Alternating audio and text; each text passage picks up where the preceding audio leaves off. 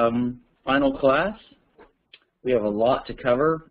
Um, before I start, let me say, don't be intimidated by the length of the slides. If you see them later, there's a lot of slides.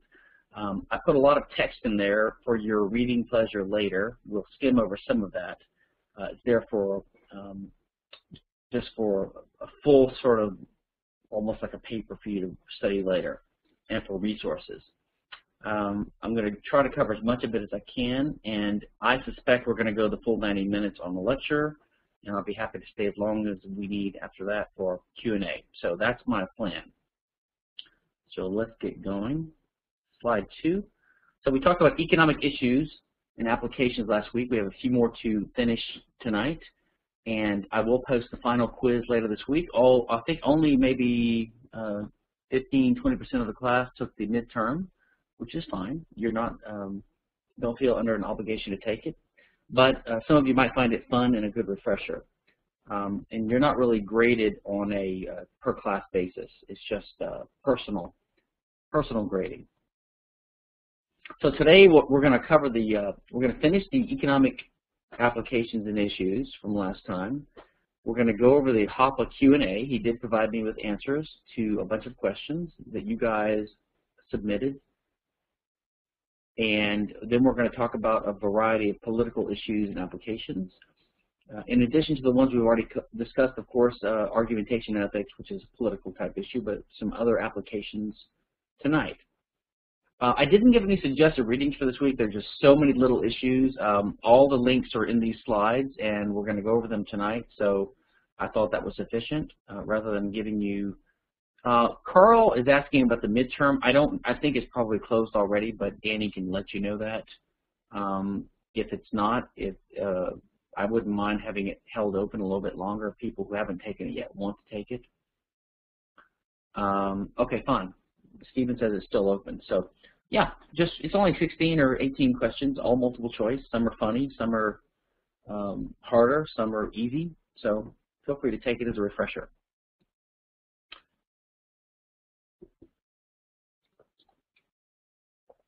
Carl says sounds went out. Can anyone else hear me? Okay, Carl, it's your issue. Maybe Danny can help you.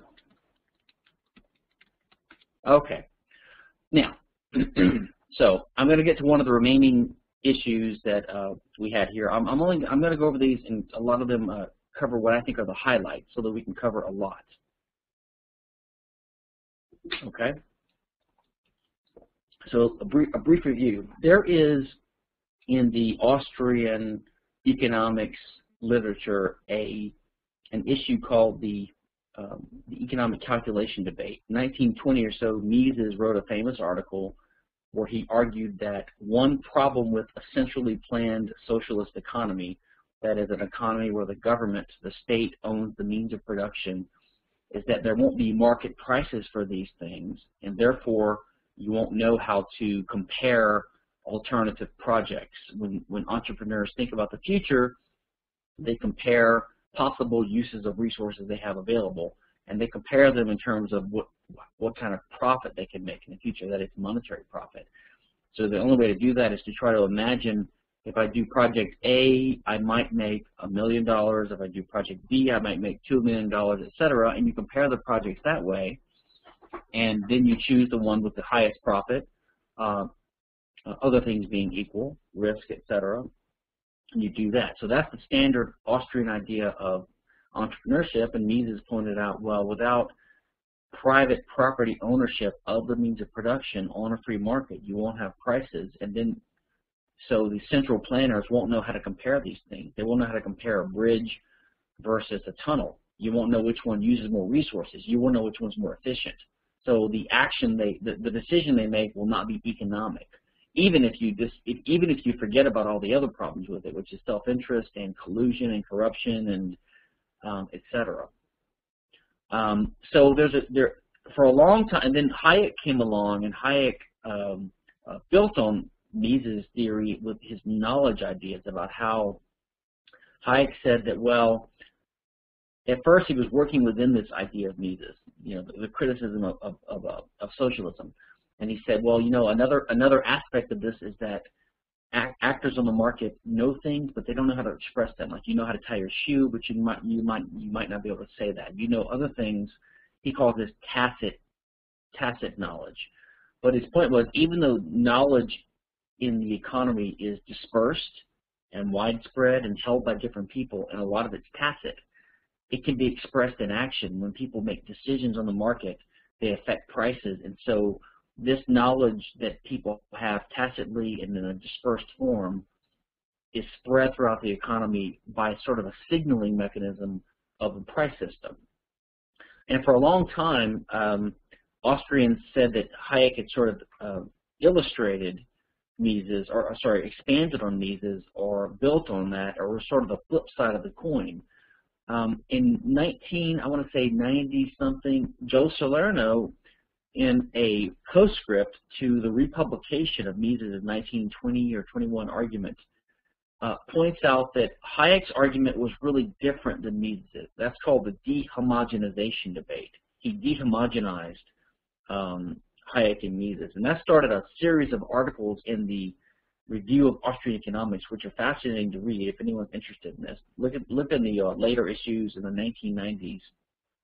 Articles by um, uh, uh, Leland Yeager and um, um, and um, Joe Salerno and Jeff Herbener and others about this calculation uh, debate. It's a fascinating debate. So I can't go into detail, but Hoppe takes the side of the Salerno dehomogenizers here. And let's go to slide five.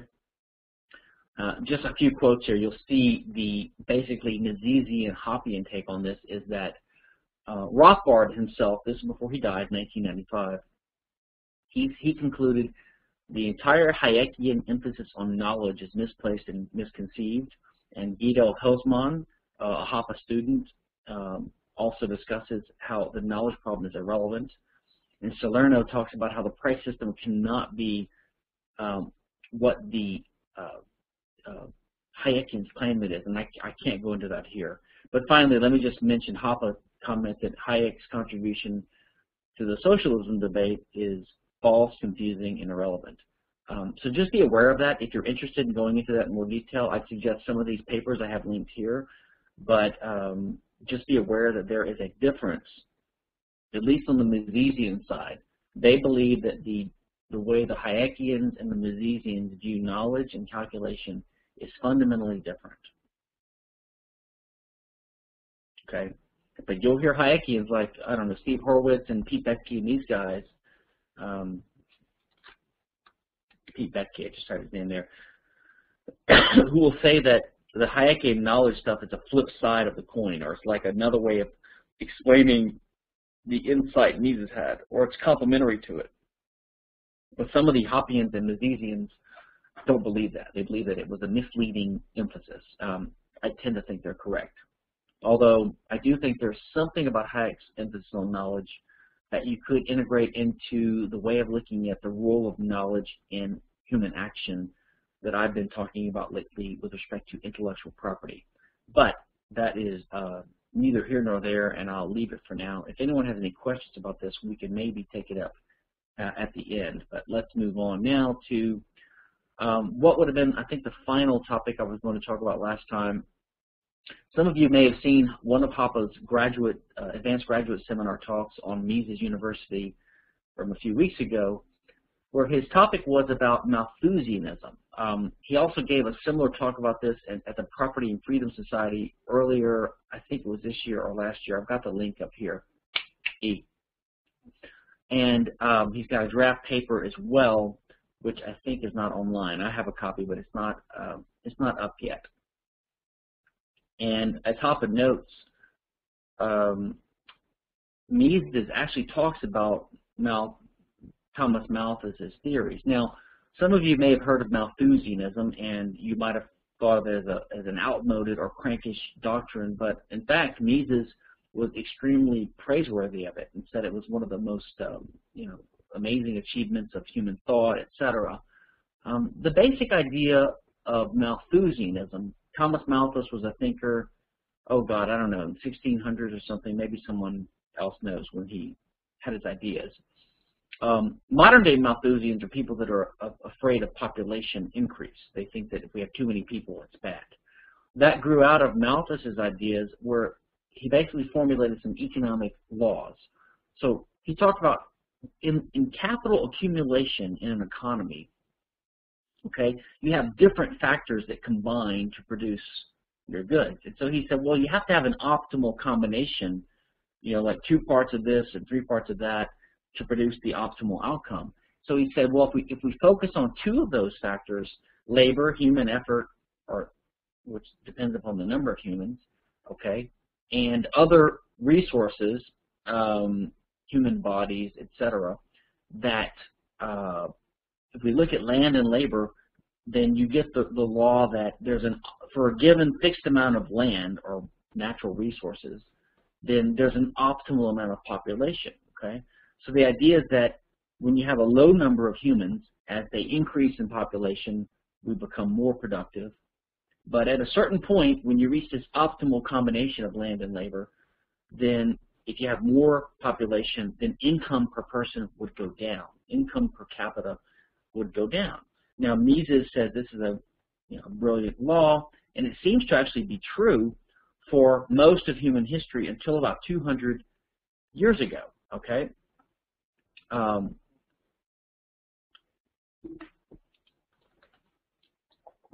let me flip to the next page. If you if you download these slides, by the way, um,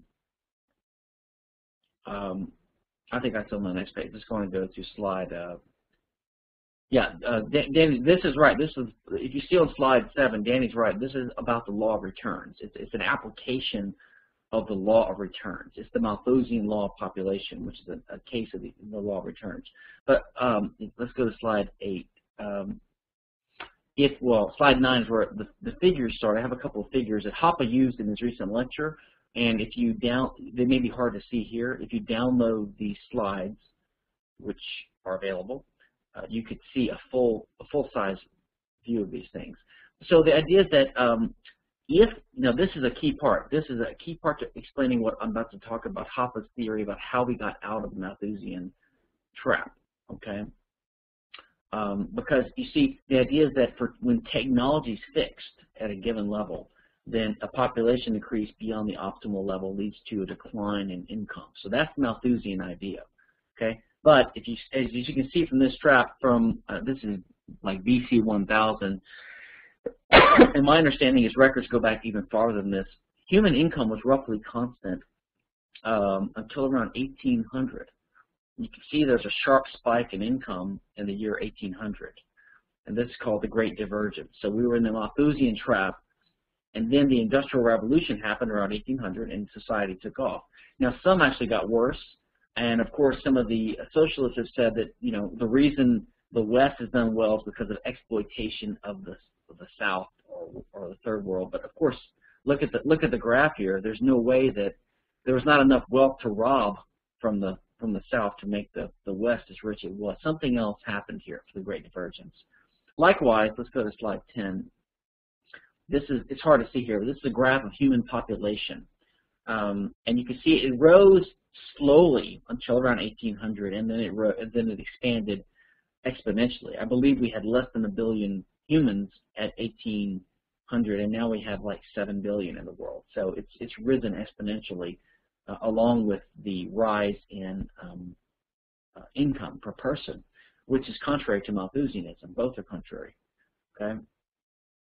Um, so now Hoppe points out um, that during the Malthusian age, until 1800 or so, what would happen? The reason you could have some population growth is because as population would grow uh, well, there was gradual technological improvement, so there was some room for growth of humans because we, we learned to exploit the resources a bit better, but not, not radical and different. And people expanded to take over new continents and new lands, um, but gradually the world became, so to speak, as Hans would say, filled up.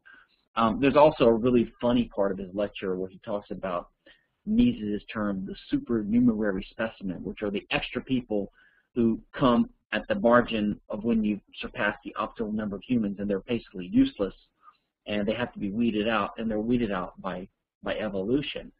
Um, and this is where what's called the iron law of wages uh, held sway where uh, if when you're at, at or near or above the optimum level of population, then people's incomes tend to be right at the subsistence level. So all these things sort of go together. And I have a little note here. Um, I just had a friend about 20 years ago, a Spanish friend, and she told me that in, in Spain that there was a way to categorize all the uh, young men who had to uh, come do their uh, mandatory military service, and they would classify you. If you're healthy, you're healthy. But if someone was like, I don't know, had had a colorblind or flat feet or some other physical issue, the, the Army would classify them as totally useless. And I always thought that was funny, and that reminded me of um, Hoppe's being tickled about the supernumerary specimens comment reminded me of that. Hoppe makes a joke in his lecture that, you know, if you come across a, a lowlife in the future, just uh, don't call them a lowlife or a loser. Call them a supernumerary. Think of them as a supernumerary specimen. Uh, in any case, um, Steven says, like Paul Krugman, yeah, he's a supernumerary specimen, right. So economists and social scientists have often wondered, how did we get out of the Malthusian trap? And the standard answer is, well, property rights and institutionalization of property rights. But as Hoppe argues, uh, there's actually little evidence for this theory because there is actually nothing in, in, in history that shows some kind of radical improvement in property rights in 1800. In fact, they were probably more secure in 1400 than they are in 2011 uh, in a lot of ways. Um, so Hoppe points out that, you know, property rights are not enough and savings are not enough because if you don't have ideas about what to do with savings, then you cannot uh, progress. Okay? And he, he points out that if Crusoe on, on, his, on his island um, um, didn't have the idea of a net, then having secure property rights, which he would have because there's no other people, and saving a lot of fish wouldn't help him because he wouldn't use the extra time to build the net to improve his efficiency. So it's about ideas. It's about improving technology. So Hoppe's theory is that it was intelligence. So he goes by a more um, uh, Darwinian idea that there's natural selection in human history, and he believes that humans of today are different than humans of 10,000 years ago and 100,000 years ago. And, and as he points out, in earlier ages when we were hunters and gatherers and then agriculturalists, the people that were intelligent, that is, they had the ability cognitively to adapt to reality, um, would tend to be more successful. They would live longer, they would be wealthier, they would have more children, and so they would have children that were more intelligent than other people. So in other words, he believes until the modern age, um, evolution bred out, selected for intelligence, okay? And so then the, the, NE resorts to just general evidence. The idea is that in certain climates, Northern Europe, et cetera, they evolved faster and they got to this intelligence uh, threshold first, a threshold where we can escape from the Malthusian trap. Basically, his idea is that certain um, areas of the Earth, humans finally became intelligent enough where we could escape the Malthusian trap. We could come up with enough ideas to, to become technologically efficient enough to escape the Malthusian trap. Uh, trap. Now, he he he he talks about some theories out there that the distribution has to be a certain shape, like you have to have like enough geniuses and enough average intelligence. So like the geniuses have you have to have enough geniuses to come up with the ideas. And by genius we mean like the top 10%, the very intelligent people. Um, Danny says this is opposite of Mises' position. Uh, it may be, I, although he does uh, recognize the Malthusian trap. I don't recall, Danny, what Mises' theory was for how we got out of Malthusian trap. He might have had the standard idea. Um,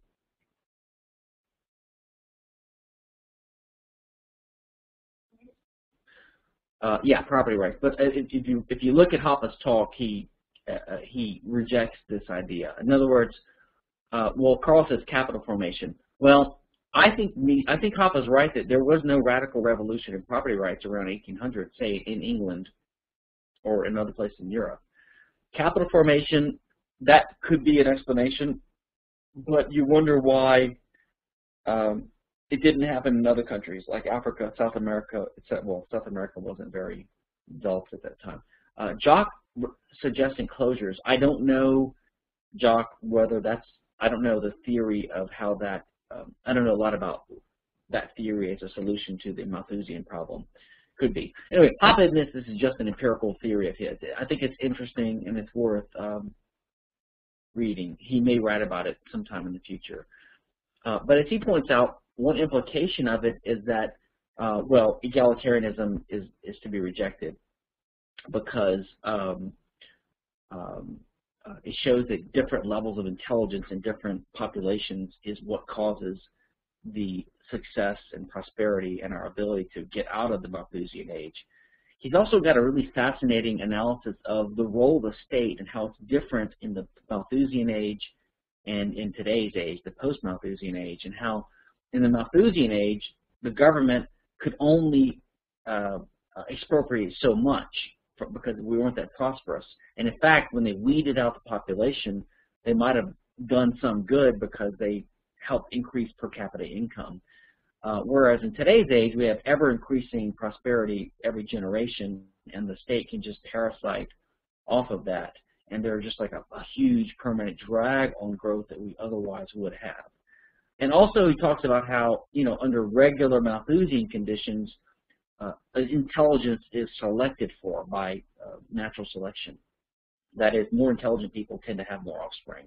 But in today's system, number one, we have welfare, et cetera, which basically means there's little penalty to people that are stupid, basically, uh, and on welfare. So, and, and, intelligent people tend to be more intelligent about their resources. They have fewer kids, and um, uh, people are bred. People are rewarded for being more political in their in their tendencies instead of being more successful technologically or with their ideas. So we sort of have a different effect going on now. Hans Hoppe even supposes that we might be regressing now. Uh, humanity might have reached a point where we're getting stupider. Uh, yeah, Dante's right. We're basically paying stupid people to have kids. Um, Cam talks about Idiocracy. Actually, Idiocracy, which is a movie, which is um, I didn't find it that funny. A lot of people did, but it's a pretty good illustration of the eugenic effects of our current state. I actually should mention that, Hoppe. That's a good point, uh, Cam. Um, I don't. Carl mentions Nietzsche's view of the last man. I actually don't know about Nietzsche's view of the last man. I do know.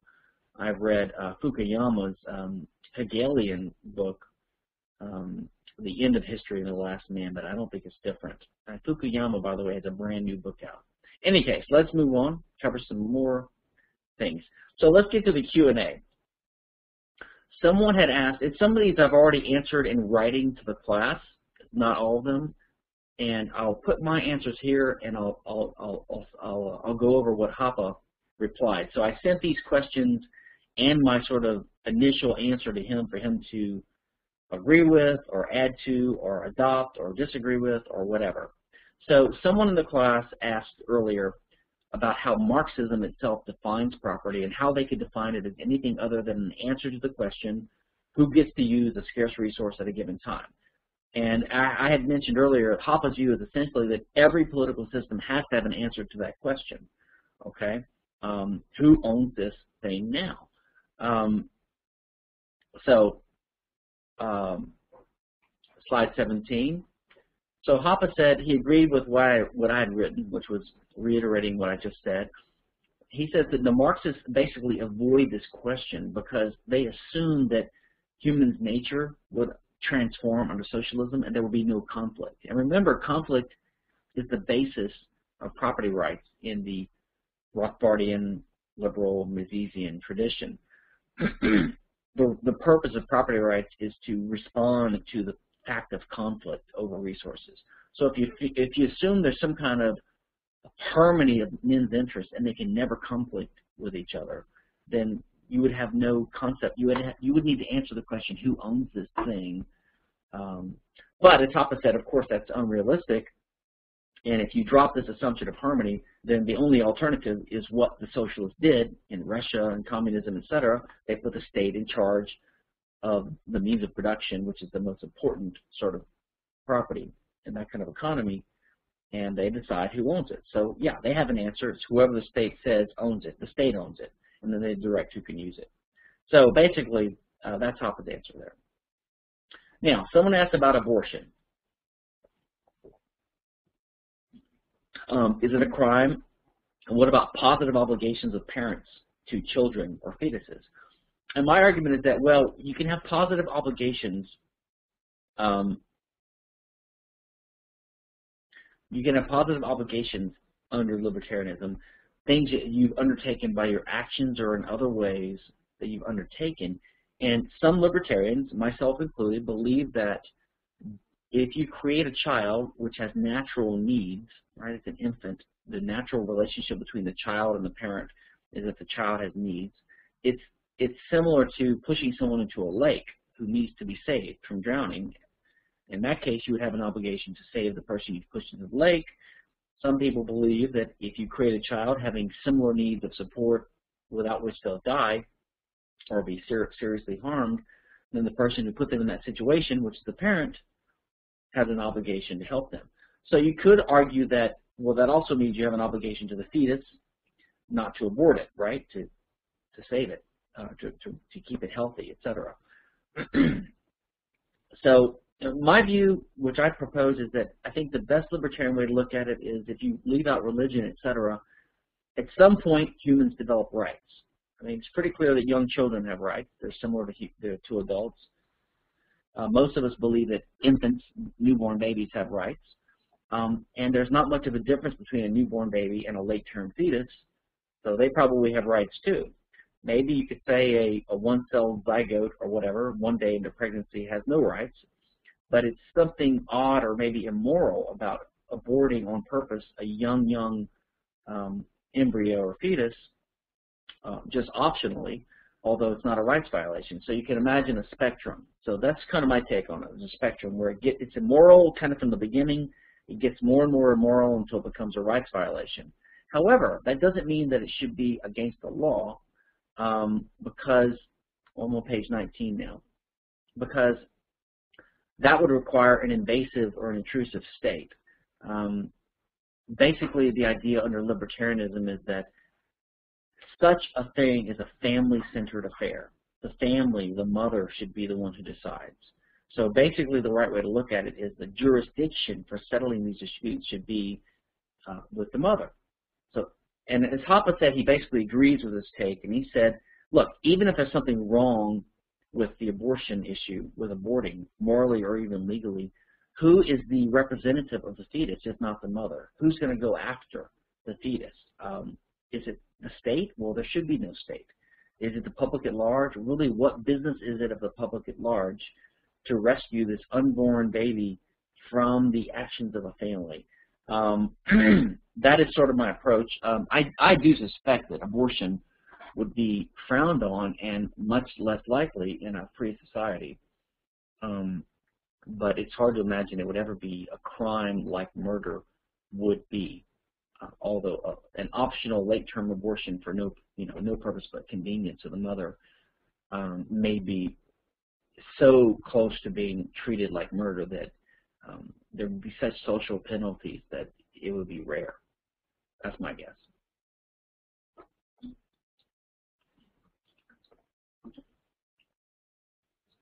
Danny, talking about Malthusianism, Danny's talking about how Mises talks about uh, in the in the in the West or the North, uh, they created property institutions to permit capital accumulation. But still, the question is, but there was no there was no really difference in the institutions around 1800 that explains this.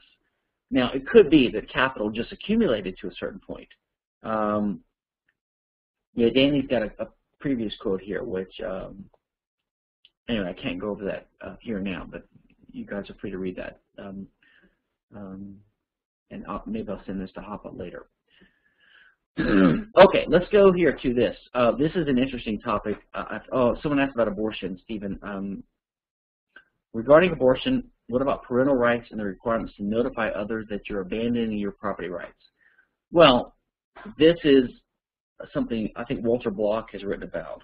Um, he views it that, well, for children, he thinks that if you you don't have a, a positive legal obligation to take care of your children, but that sort of your your right to be their caretaker is conditioned upon you doing that. So if you choose not to be their caretaker, then you have no right to take care of them anymore.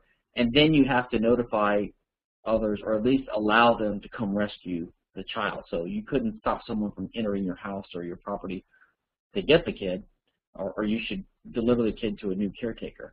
Now, for abortion, I believe Block's view is that um, uh, it's a trespasser, and you have the uh, you have the right, the mother has the right to eject that trespasser, but she should do it in the least invasive way possible. Uh, but under modern technology, that means killing it. But the killing is just a byproduct of ejecting it. Um, there is a book called uh, Solomon's Knife by Victor Koman, which says, which imagines a future um, history where it's a libertarian science fiction novel, which says that it imagines that there's a possibility of a procedure called transoption, which means one pregnant woman could be have the fetus taken out and put in another woman's womb and carried to term. And he says that would change the dynamics of the debate. And I think by Walter Block's view it would because he would have to argue that you would have to, instead of just aborting the baby, you would have to allow it to be transopted um, because that's the least harmful way to eject the fetus.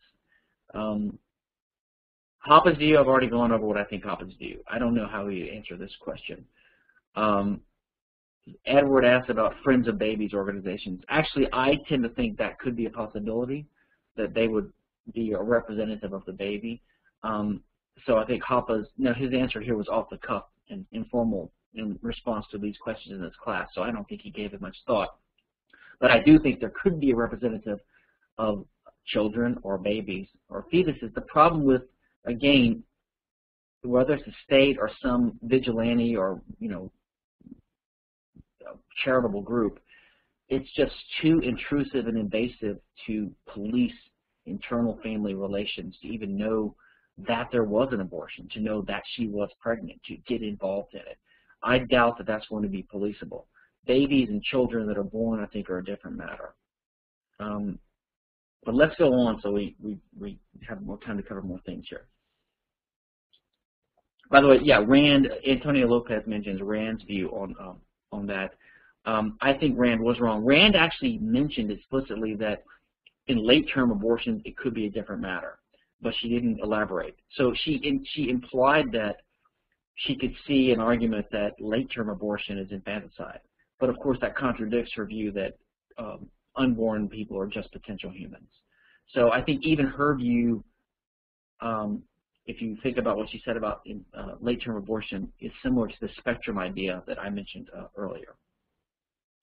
Um, my view is that uh, the mother morally ought to try to have the baby. If you don't want the child, then have the baby and have an um, have an adopt, adopt, you know, have an adoption. There's plenty of parents. I mean, it does seem to me that in most cases the the abortion is for convenience, you know, to avoid embarrassment or um, inconvenience. And it seems to me that if you you know, perform an action that results in a, a new child in your in your stomach, then you know, take it to term and then move, live the, you know, move on with your life. But why kill a young human? I mean, anyway, that's my that's my idea.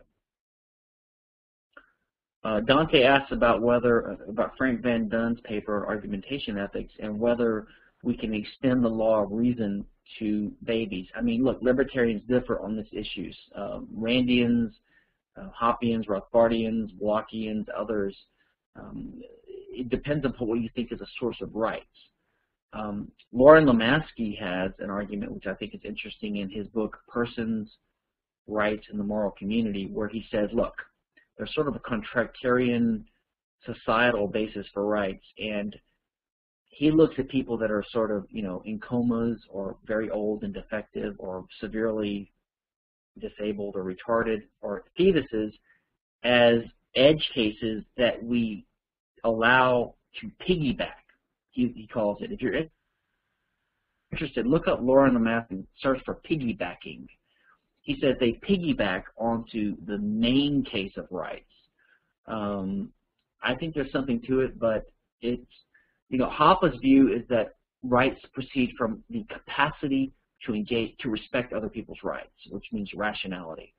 Now, how you would extend this to an infant or to a fetus, which doesn't quite have that capacity yet, or maybe has the potential for capacity, I don't know. I think you can look at it as a um, borderline case or a continuum issue, as Walter Block calls it.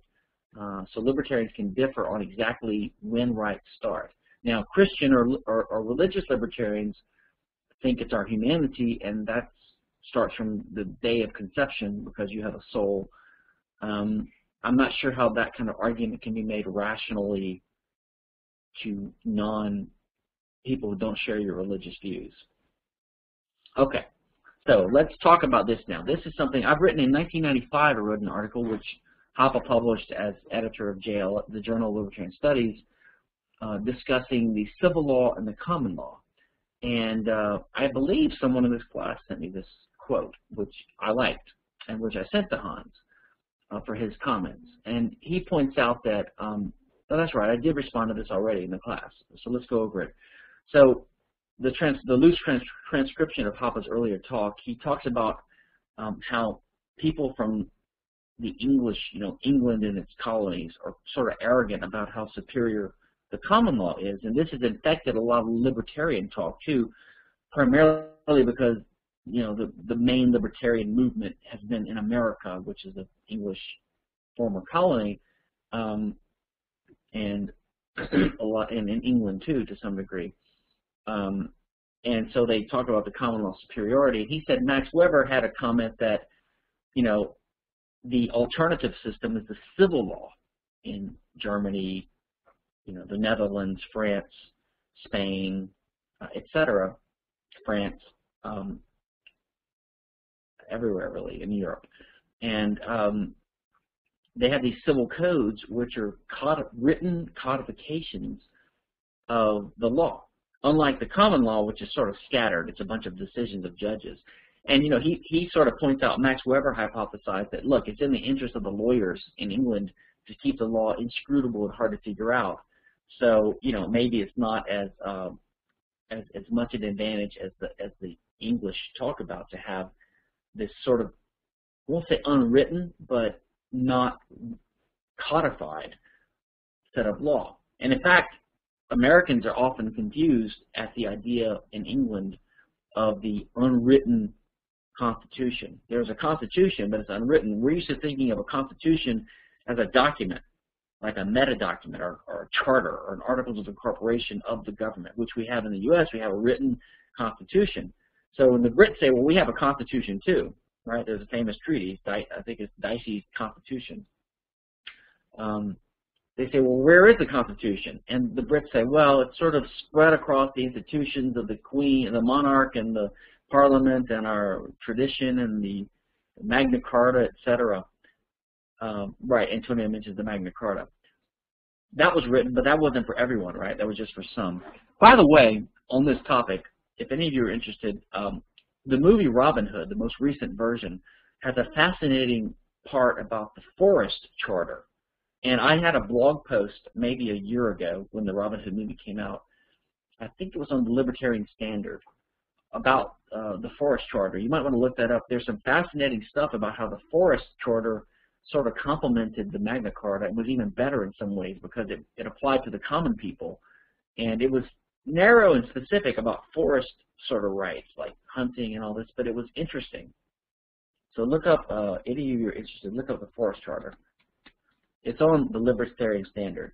Let me. I think I blogged it there, maybe on Mises.org. Anyway, um, now I had a long um, comment to this, and I'll just explain it here. I have the comments here on pages 21 and etc. But my point is this, and I'll give you a brief lecture on the civil law and the common law. I'm from Louisiana, which is a the one state in the United States of the 50 states that has a civil law type system because we were influenced by Spanish and French traditions at the time of the Louisiana Purchase uh, or when Louisiana was ceded to um, um, the U.S. So we have a civil law system, so I've always had an interest in it and I wrote on it. And the way to look at it is contrary to the, the standard way you'll hear about it. you'll hear, uh, here's, let me just lay it out. The, the best way I think for the libertarian to look at it is the Roman law, okay, is a magnificent body of law, legal principles developed over roughly a thousand year period, you know, from, know, minus 500 to plus 500 BC, roughly, uh, which was like the common law, which came later in England, they were both similar in that they were decentralized. They were basically the accumulation of decisions of judges or, or jurists or judicial experts applying previously developed legal principles to new tax situations or cases, basically. So they were actually similar in this way. And in fact, the Roman law greatly developed the common law.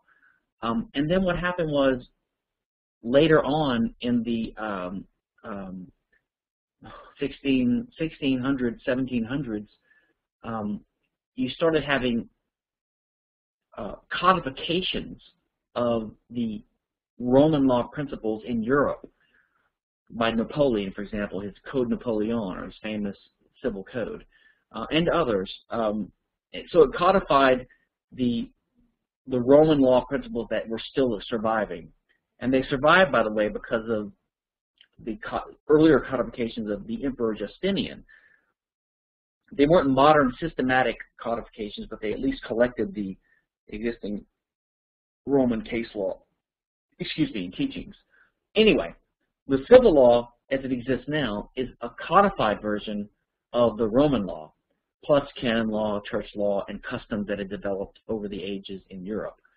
Um, but its hallmark is not only that it's codified, it's also that it enshrined legislative supremacy. So Napoleon says, here's the law, we've gathered all these customs and these Roman laws and these decisions, and this is going to be the law, is what's written down here. So it had the advantage that the average person, which is what Weber and Hoppe were referring to, the average person can open the civil code and look at it and say, well, this is the law. Whereas there's no such code in the common law. You have to pour through thousands of decisions, which is the expert, the the, uh, the, the domain of experts like lawyers. Um, so that's one thing they're talking about there. Uh, but now I would say this: nowadays, in today's world, the the distinction between so I would say this: the Roman law and the common law were similar. They were both decentralized. They're both very good, although Roman law was superior in most ways, I believe. The civil law is good because it's a codification of the Roman law principle. So it's there were great intellectual achievements and good for the common man. But they also enshrined legislative supremacy or legal positivism. Anyway, in the meantime, in the last, say, 200 years, since codes arose um, at, at the peak of the common law in England, the common law in the Commonwealth countries, England, the United States, etc., Canada, Australia, um, have been overwhelmed by uh, an increasing body of legislation. So, and the same thing has happened in France and other countries that have civil codes. The civil code is still great, largely, but now there's a whole superstructure of other statutes that surround it at the European level or at uh, treaty level or the national or state level. Um, so basically, Nowadays, in both the common law countries and the civil law countries, the dominant form of law is special purpose uh, and ad hoc and unsystematic legislation. So the common law is getting largely being lost. The Roman law, as codified in the civil law, civil codes, is being submerged. So that's our current situation. Antonio says the civil code cannot address all possible instances of the law and yields more and more code. Well, the, the theory of the civil code is that I have a quote in that article that I mentioned, my 1995 article, which I think I have a link to here. Um, the civil the civilians view the civil code as existing in a plasma, they call it. So they they basically think of all the code articles as being consistent with each other, and if you can't find the code article directly on point to a given situation, you try to basically interpolate between code articles or you analogize because there's an assumption that every code article is part of a plasma, an organic, harmonious whole of law. Whereas in the common law, the judges have always been jealous of their domain. And every time a statute is written, it's seen as an intrusion into their space. And therefore, the judges in the common law always interpret or have tended to interpret statutes very narrowly, which is one reason statutes and legislation in the common law is uglier than in the civil law because the legislators know they have to enumerate every possible, so they have so many uh, uh, synonyms. They'll say like, you know, a vehicle, a car, an automobile, a truck, whatever. Whereas in the, in the civil law, they know the judge is going to try to expand the interpretation broadly in this plasma idea. So they'll just say, you know, a, a transportation device, or so they'll say some general term. So you'll see, and this, this difference actually leaks into contract drafting in civil and common law countries too. Um, in the common law world, and the the contracts are uglier. They specify everything in such detail because they're afraid that if you don't, that someone will read around it. Anyway, let's get to what Hoppe said about this. Um,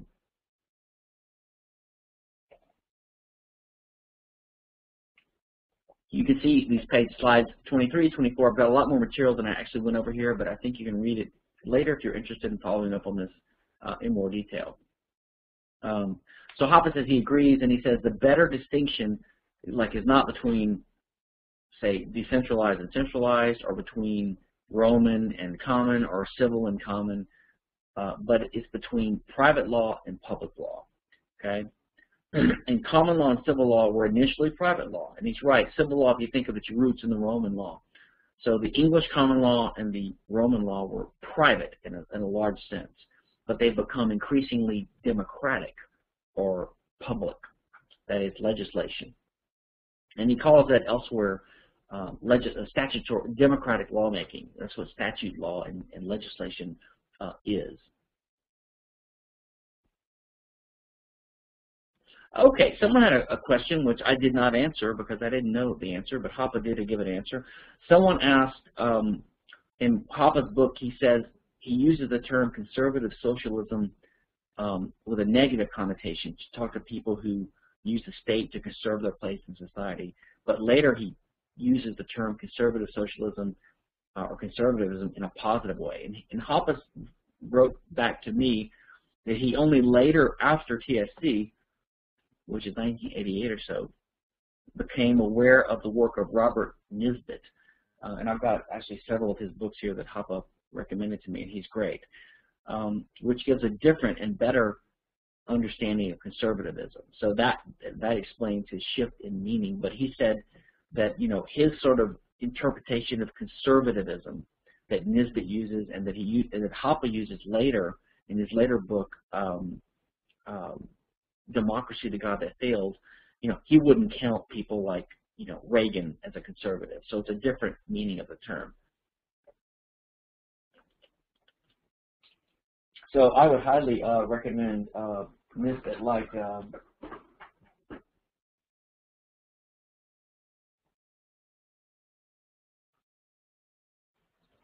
uh, sorry, I thought I had the book I thought I had the book right on my shelf. I could grab it and show you, but it's uh, they're not in alphabetical order uh, uh, today. Anyway, there's a lot of good Nisbet books. If anyone's interested, email me and I'll give you a list of the top two or three that Hoppe. Yeah, actually, Steven says the Quest for Community. That is one of the ones Hoppe recommends. Okay, so let's go on to this one. Now, I, I try to give an answer to this. I'll go over it briefly because I already answered in detail, and Hoppe basically, um, I think he just agreed. He rubber stamped it. Let me go to the last one, make sure I'm right. Yeah, Hoppe had no, no comments on this. So let me just briefly explain this. Someone said, in part of TSC, Hoppe says um, he wanted to know if there's a contradiction between he, what he talked about socialism's effect on personality types. Because he says, number one, it, it makes people rely on family relationships, personal relationships. On the other hand, it makes them uninteresting and have uniform personalities, and these seem to be at odds. Um, quickly, um, you can reread my answer I gave earlier because Hoppe basically agrees with it. He's just talking about two incentives that the state sets up. And remember, the state is doesn't have to be inconsistent. Uh, consistent. It can set up competing incentives. For example, excuse me, with income tax, the state punishes um, hard work, especially with a progressive tax, right? So in a way, it penalizes you from working harder. So because the more harder you work and the more income you earn, you, you, you know, the less you're able to keep of it. So in a way, it, it, it disincentivizes people from working hard. On the other hand, by its spending policies and by its taxation, it impoverishes people and it makes them poorer, so it makes them have to work harder to survive. So there's contradictory incentives there. So the fact that there might be contradictory incentives set up by the state is uh, the, state, the state's fault, but it's possible.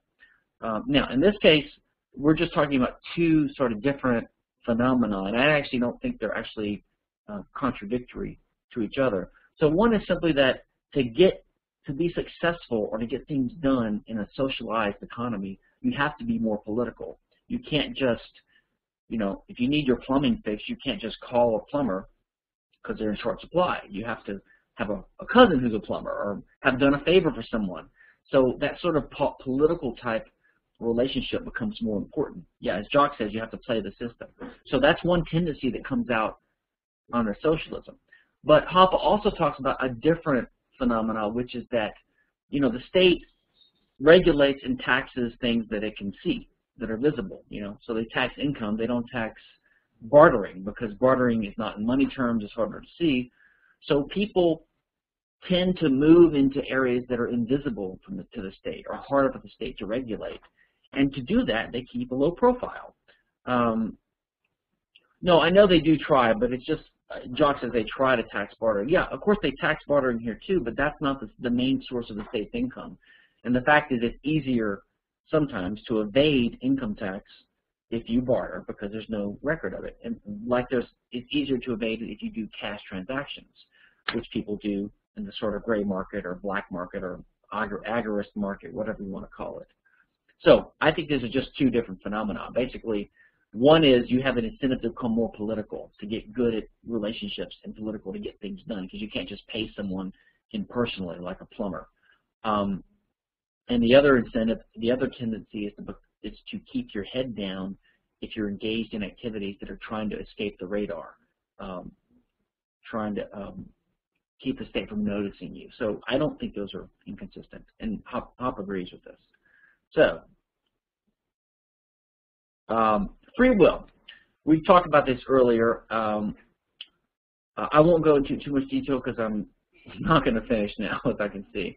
Um, I tried to explain earlier that from the dualist point of view, the Misesian view, that you look at, you can explore two realms of uh, phenomena systematically. One is teleology, human action, purpose of action and one is trying to figure out causal laws.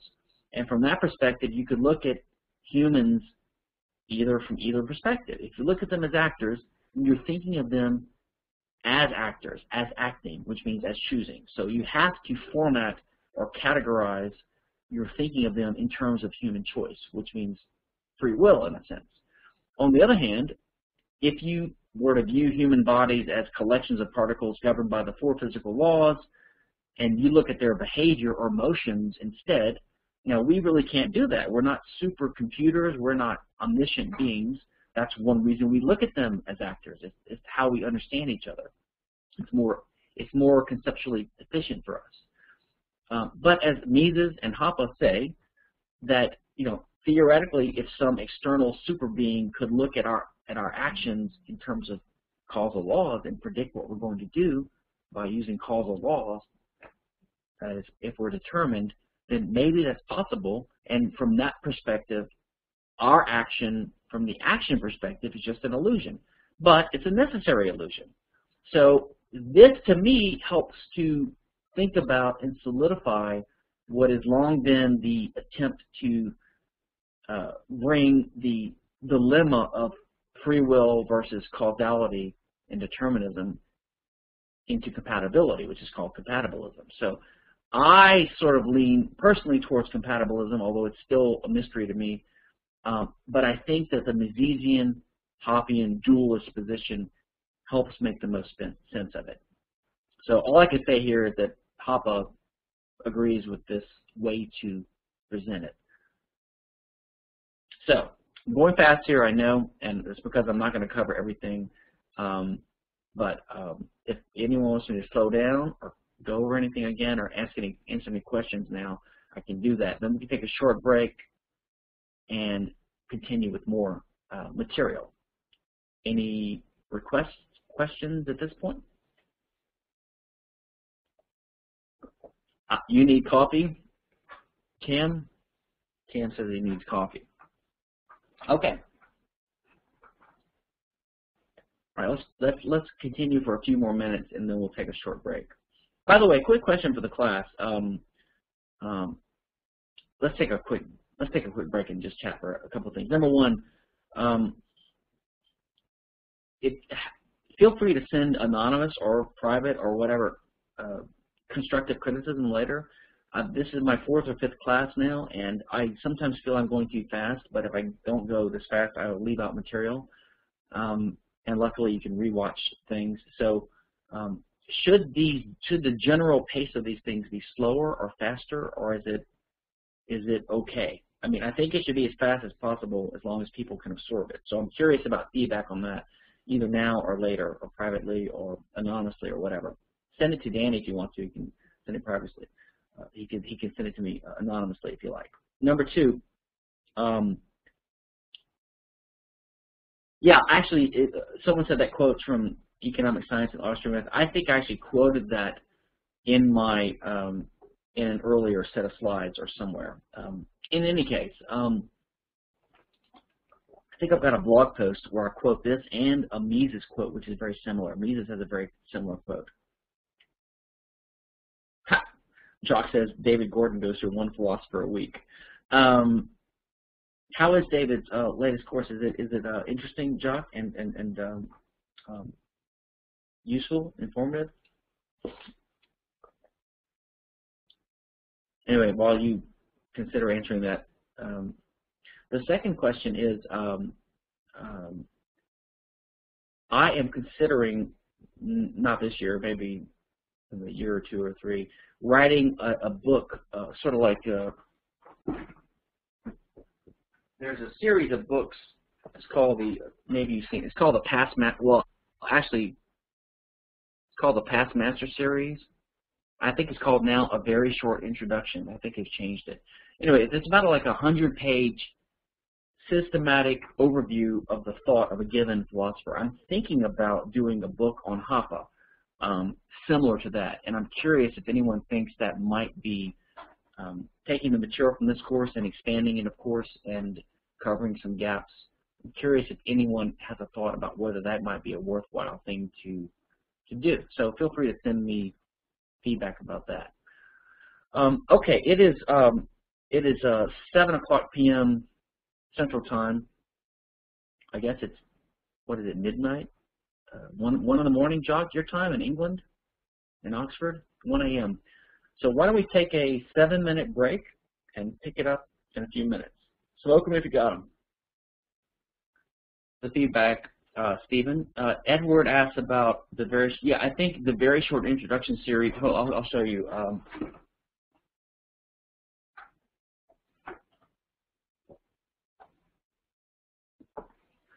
yeah, so um, so this this is what the series used to be. It's called Past the Past Masters, and there's a lot of them there. But then they replaced it with this um, very short, very short introduction. Which you'll so you'll see books on Amazon like this book. You can find this book under either either title. Um, and, and there's another one that's similar called the Fontana Modern Masters. These are about 150 pages each. Um, these I like these. These are about 100, and they, they I think these are better. But from what I've seen, the, I've read about maybe a dozen of them, so they're they're pretty good overviews for people. I'm not proposing doing a Hoppe course, a book for one of those. I doubt they would take it because he's not a past master, he's still living. Uh, but maybe Mises Institute would publish it, something like that. Any case.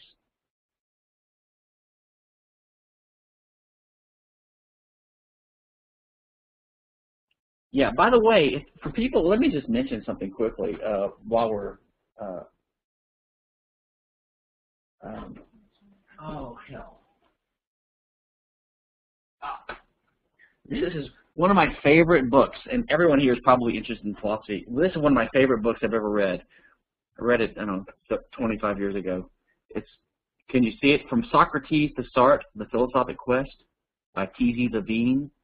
This is it's a paperback. It's really, really, really, um, really wonderful uh, overview of philosophy uh, in, a, in a lively way. If anyone's interested um, in philosophy, and you don't have a lot of background in it yourself, this is a really good introduction. Okay. Um, anyway, so let's let's let's get going again. Uh, any other questions before we continue? And it's wine time now. I always get my wine out for the uh, Q&A for the uh, last 30 minutes. Um, Antonio says it's in Kindle format. What's in Kindle format? The Philosophic Quest is in Kindle format now?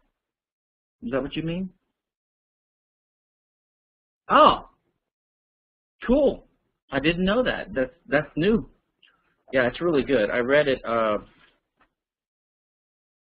yeah, you can see. I read it for those that are interested in Budapest, 1991. I used to write down in my books when I read them, and I was backpacking across Europe in 91 and read it. Loved it. Loved the book. Anyway, good deal. I'd love your Jock. Email me what you think about it after. Um, I have some friends that are philosophers that have never heard of it, which surprised me because it's so good. Anyway, let's go on. Any other questions before we resume?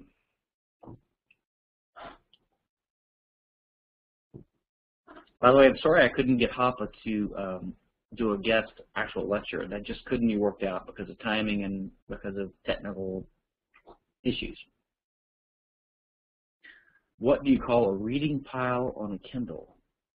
I don't know, but I wish Kindle would allow you to sort your books into different categories like iBooks does, um, and I bet you they'll do that in the future. Oh, do they? Oh, I've got, I think you're right. I've got to try that. I've seen that, Jock. They do allow that now, don't they? Huh. Okay. Okay, let's you know, we might not get much into the topics beyond the Q&A, but um, I've tried to organize these slides into the priority, like uh, the less important ones to cover are at the end. Um, okay. Let me try to explain what this is about. So someone talked about Walter Block's view on inalienability, and, and what's interesting about this course and your, you guys' input and the questions, this actually, um, this question made me think about it, and I wrote Hans, he agreed with me. But his answer and my thinking about it made me realize I think I was wrong in my earlier writing about Rothbard. Uh, let me quickly try to explain it. I won't go over my slides here. You can read them later. Let me just present it in a few minutes how I see it. So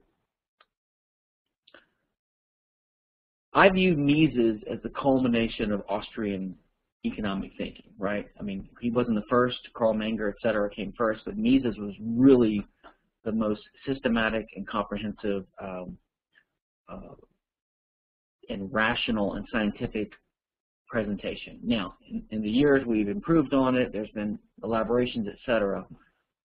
Um, well, happy birthday, Carl and Jock, um, whenever that is. Um, but in any case, um, and I think Rothbard is sort of like the Mises of libertarianism. Um, and I also give credit to Rand. She inspired Rothbard in a lot of ways, and she, she was a big influence as well. But Rothbard is the guy. But I think Hoppe is sort of cleared up and improved by combining the two along a lot of Rothbard stuff. Under this modern Hoppian, Misesian Rothbardian, but primarily Hoppian framework, Here's how I view this issue of inalienability. It comes up because people ask the question, well, could you voluntarily alienate your rights? Could you become a slave by signing a contract to be a slave? Would that be enforceable? So that question is one of these perennial questions. Now, my view is Walter Block, people like him, who are a minority of libertarians, I believe. There's only a few libertarians, probably, I don't know, 0.1%. I mean, not many libertarians believe this. But there's a, a, small minority of libertarians that think that if you sign a contract saying you're going to be someone's slave, then it's enforceable, and then the the slave, the master, the slave owner, is entitled to use force against you to do whatever what you agree to, to kill you or to beat you or to, to punish you or to discipline you or to kidnap you or to jail you or to prevent you from running away, etc. Um, Rothbard's view is opposite. And for a long time, I thought Rothbard was correct in his conclusion, but confused in his reasoning. But my current view, gathered just a, a few weeks ago, is, is that Rothbard wasn't confused in his reasoning. He just um, he hadn't fleshed it all out. But the way he wrote about it led me to think he was confused. So let me just tell you what my view is and what I think is Hoppe's view. And then I'll go back and talk about uh, I'll talk about um, um, uh, Rothbard and Block. So my view is this. If you remember the Hoppian view, what is the connecting, what is the central thing, what is the common element between property rights in our bodies and in other things? It's the libertarian idea that the person with the best connection or link or claim to a thing that's scarce has should have the ownership of it, right? So that's what's in common. It's not the first user, which is the homesteading idea of Locke. That is how you apply the general idea, best, best link. You apply that to the case of bodies, you apply it to the case of things we own differently because they are different. You can't homestead your body because homesteading implies you already own your body. Homesteading means there's a person you know, walking around the earth who already owns his body, who is using his body to homestead new things. So homesteading already presupposes body ownership, so they can't be based upon the same principle. So the, the bottom line is, and by the way, this is not that explicit in Hoppe either, because when I wrote my article on how we come to own ourselves, I, I thought about it a long time, and I actually had to find, Hans Hoppe finally told me he had written something in German like in 1982 or something that had never been translated. And I think I got Guido Hülsmann to translate it for me, and that's the paragraph I cite. And I, it finally became clear to me this is the essence of what Hoppe's getting at. That we own our bodies because we have the best connection to it because we have a direct control of our bodies. You know, this goes back to that natural condition Hoppe talks about. You know, I, we use the, in language, we use the possessive. I own my body. It's my body. Now that's a natural thing. And you know, if I want to move my arm up, I move it up. So I have a direct control over my own body. And this central fact is what gives me the better claim to my body than other people have to it.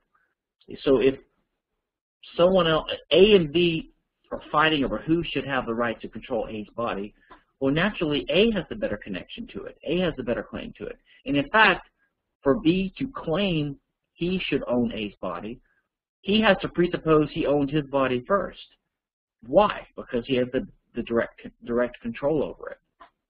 So he has to presuppose a, a basis for my ownership of my body in his challenge to my body. So that's the basis of body ownership. The basis of ownership of um, of things that we acquire is that it was previously unowned and then I used my will and my actions to uh, transform it and emborder it. I, I, I, incorporated it into my my patrimony, we might say, or my estate. Um, and I put up a signal to others that, hey, I'm claiming ownership of this. There's already a signal put up about my body because I'm the one using it.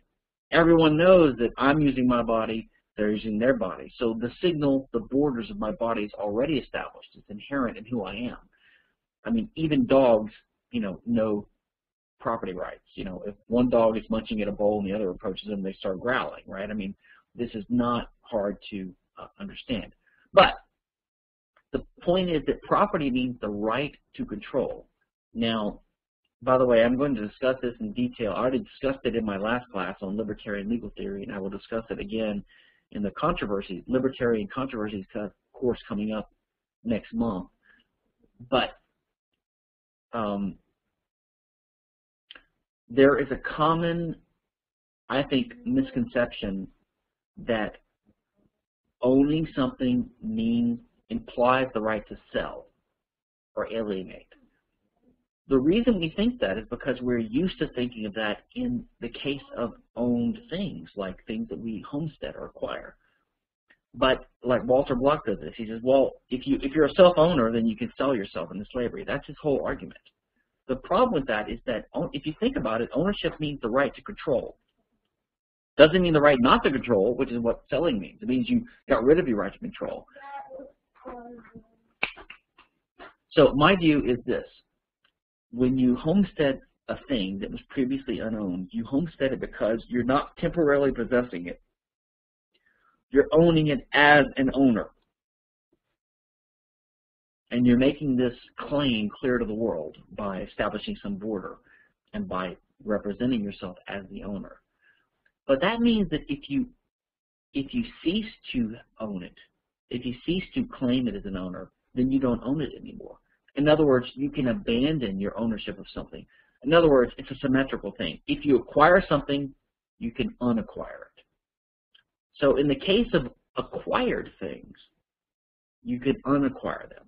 And of course, you could arrange it so that you can unacquire it so that someone else that you want to have it after you could have it. So for example, um, I acquire a staff, a piece of, a branch of a tree that's fallen down in the, in the commons and I acquire it. I use it for years. I put runes on it. I carve it. It's nice and polished. And one day, I'm tired of this thing, or I want to trade it for something Jock owns. How do I get rid of my ownership of this thing? Well, I could just leave it in the field and walk away from it and leave it, and I've abandoned it. Now it becomes subject to rehomesteading by anyone. But if I want Jock to give me something in exchange for it, I need to make sure Jock is going to be the new owner. So I hand it to Jock like a loan, right? So temporarily Jock owns this thing. He's holding the staff that I own, but I'm giving him temporary right to use. That's what ownership means. I have the right to decide who gets to use it. So I'm lending it to Jock. And then, while Jock is holding it, I abandon it. I say, I hereby relinquish my claim to this. So what happens? You know, there's an instantaneous moment when this staff is unowned, and then Jock, as the new owner of it, as the new possessor, becomes the new owner. He re-homesteads it. Anyway, this is my theory, building on Rothbard's contract theory, by the way, of how and why when you have ownership of an acquired thing, that means that, that there's a way you can get rid of it and alienate it. But it's not an essential feature of ownership. It's just getting rid of ownership. It's abandoning it. But your property right in your body, according to uh, Hoppe, is based upon your direct control of your body. That doesn't go away if you sign a piece of paper saying, I'm your slave. You still have direct control over your body. Therefore, if you say, I give myself to you, so what? It actually doesn't abandon your body as it does in the case of the staff that I just gave. So to me, this is the distinction. Uh, ownership of property does not imply the right to sell. It implies it as an application of ownership in the case of acquired goods. But not your body is not acquired in the same way. Because to acquire, you have to be an acquirer. To be an acquirer is to be a human actor. To be a human actor is to be a person who already has a body. You can't act in the world without a body. Okay? Now, what's interesting is the Hoppe agrees with this approach, as you can see from the following slides. But Hoppe has a, uh, sorry, Rothbard has a comment that um, the reason you can't sell yourself into slavery is that the will is inalienable. Now, I thought his argument was this originally. Your will is inalienable. It's impossible to alienate your will, and therefore it's impossible to sell yourself into slavery. But I immediately thought, well, but what about criminals? What about someone who you are punishing for a crime? Well, Or what about animals? If we own animals, they have a will. We use force against them to force them to do what we want. Or, or a criminal. If you punish someone, or at least use force against a criminal in the act of crime to defend yourself, you are using force against their body, but they have a will. In other words, your use of force against their body is justified, according to Rothbardian theory, even though they haven't alienated their will. So my immediate thought was, well, Rothbard is a little bit off here because um, he's wrong that the fact that you can't alienate your will doesn't mean you can't alienate rights to your body. In other words, I can have the right to commit force against an aggressor, even though he hasn't alienated his will. In other words, it's justified for me to use to to overcome his will. It's justified for me to use force that invades his body, even though he says no, because he's an aggressor. But this recent conversation made me realize, well, Rothbard was talking about the consensual case only, because Rothbard clearly believes that if you commit aggression, you can be punished. So I think the context was he was only talking about this, and I think what he was getting at was something that Hoppe made more explicit later, which is that the basis of self-ownership is the fact that we have a will, or as Hoppe puts it, that you have direct control over your body. So I think Rothbard, again, as he did with other things Hoppe made explicit later, had a proto-Hoppian theory. And this is this is because I believe a lot of this is implied in Misesianism in the first place. And I think Rothbard was such a great libertarian because he was such a great Misesian. And Hoppe the same. But Hoppe came after and built upon Rothbard's progress, and so he had further insights himself.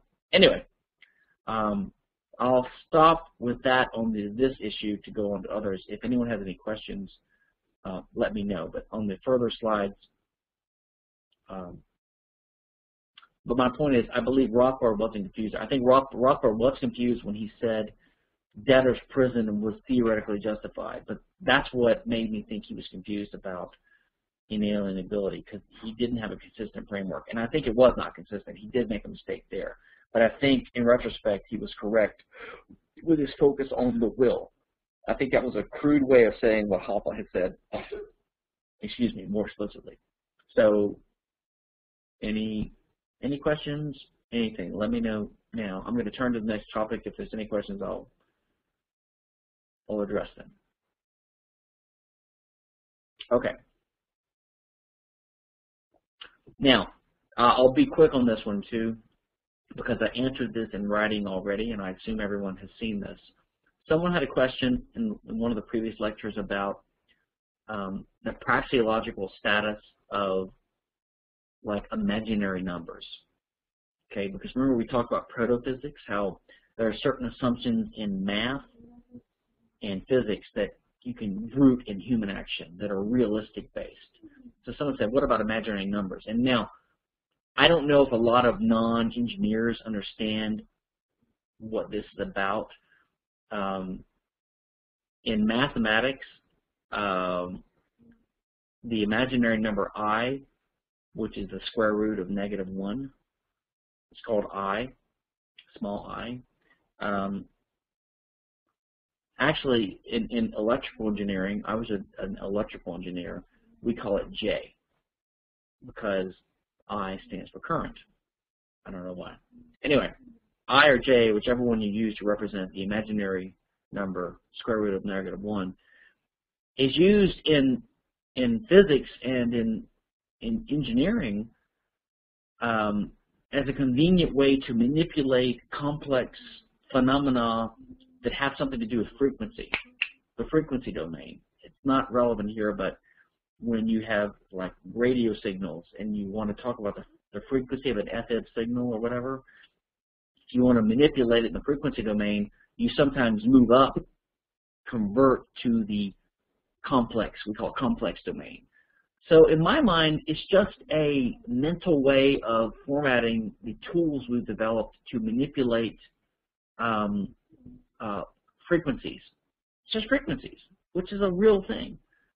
Um, how we think about these math tools and how we label them, I mean, just because we call it imaginary doesn't mean it's imaginary.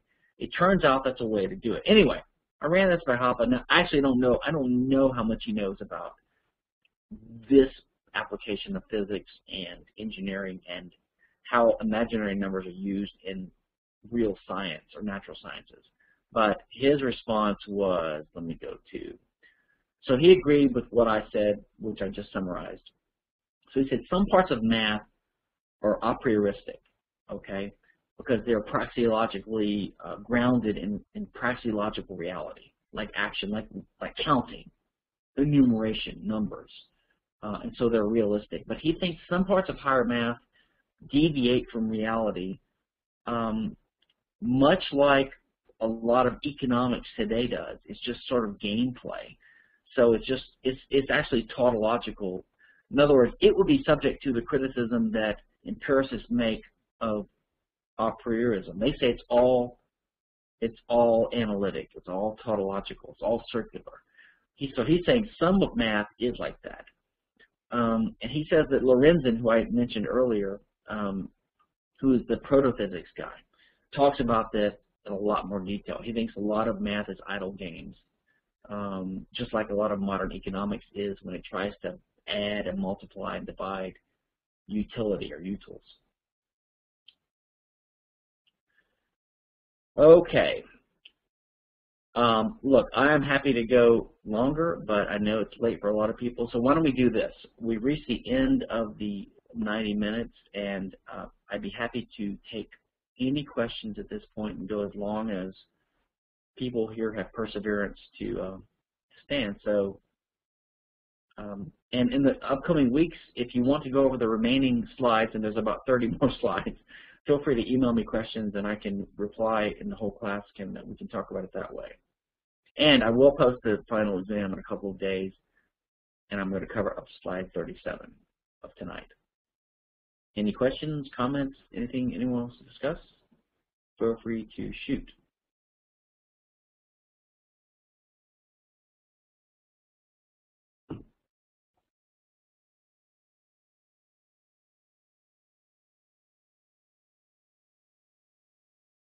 Edward says, if monarchy is so much better than democracy, why did monarchies lead us into World War I, which destroyed monarchy? That's an interesting question. and Stephen has a question too, which I'll get to. Um, let me try to think what Hoppe's answer would be. Well, number one, Hoppe is not a monarchist. He is an anarchist. So he thinks monarchy and democracy are both flawed. And of course, monarchy and democracy can both lead to war, and the, the outcome of war is unpredictable. And of course, World War One was an um, sort of an unpredictable uh, thing, you know, caused by this weird uh, circumstance and confluence of events. Um, and I guess you could also argue that war has been even worse. In the 20th century, war was worse in the advent of democracy. So I guess the answer would be monarchy is just another type of state, and they can make mistakes too.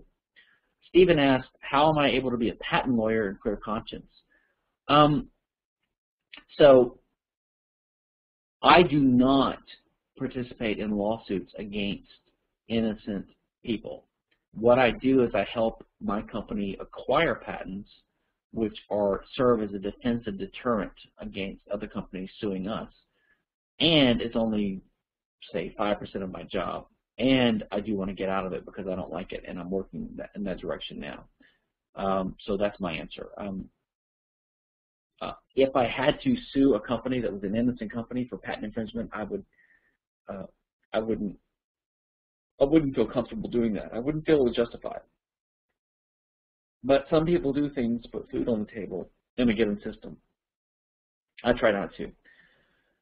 Um, Edward, and maybe someone else can answer this question. My history is is uh, weak. Uh, were European nations not very monarchical prior to World War One?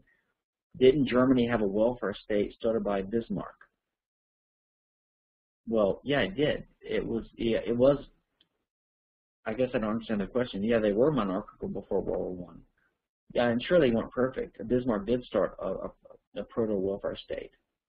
Um, yeah, I think Hoppe's idea is that the, the, the ideal form of monarchy would be this sort of earlier version of it that was somewhat limited by some constitutional or parliamentary uh, institutions, but uh, more of a real monarchy rather than the ones we have now. But he explicitly says, and I have it in the slides here, which we didn't have time to get to, but he is not a monarchist. He does not favor monarchy or a return to monarchy.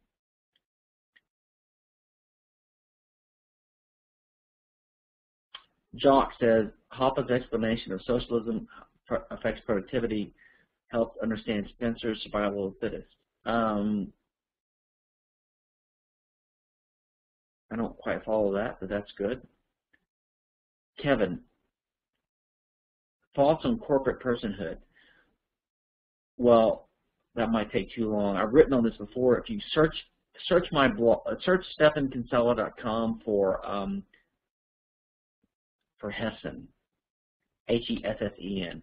Robert Hessen has, I think, the sort of best treatment, although Roger Pilon from Cato, P-I-L-O-N, and, and Rothbard has some good stuff on this too.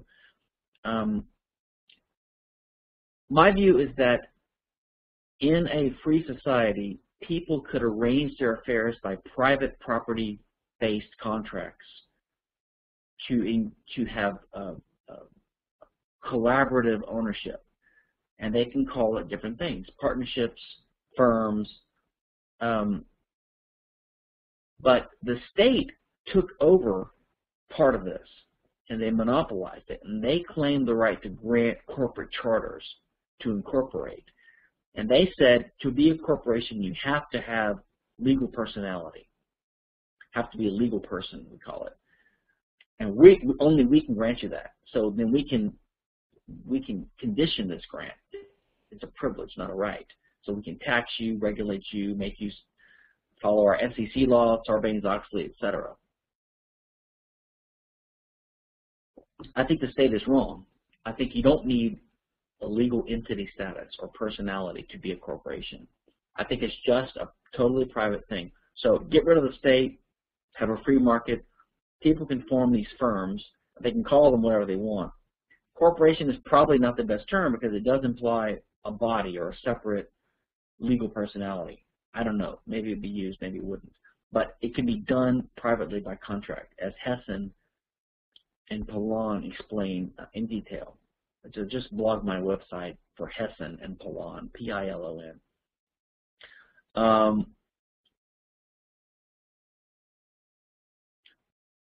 Antonio, you still confused about the difference between property and value. For people, people thrive for wealth, not property. Property is a, is a foundation of wealth. You can't accumulate wealth without property. Um, well, I think prop, yeah, so right, we're human actors. We live in a real world of scarcity. We have no choice but to employ scarce means to achieve our ends. Scarce means are things that we get property rights in so that we can use them productively and so that there's one one owner assigned to it, so he can use it without people fighting over it with him. So property, in a way, is a means. It's a it's a means to satisfy our desire to change the future, which is to achieve our ends.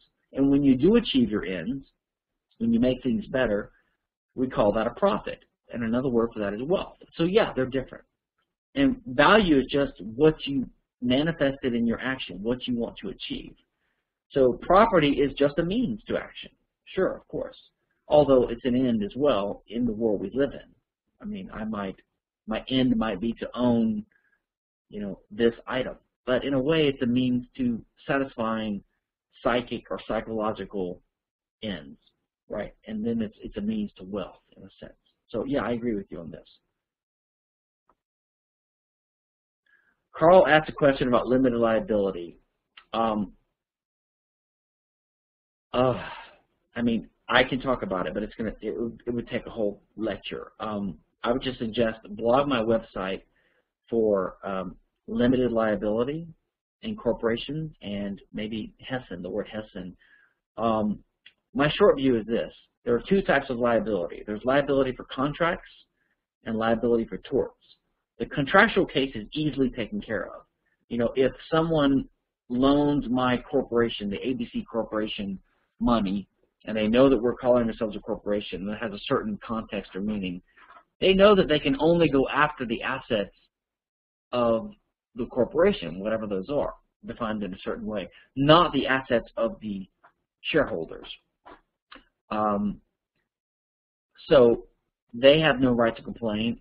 And what happens actually in reality is in a small company, well, in a large company, people take this risk because the company has more assets than the shareholders typically, and, they have sufficient assets, and they tend to have insurance.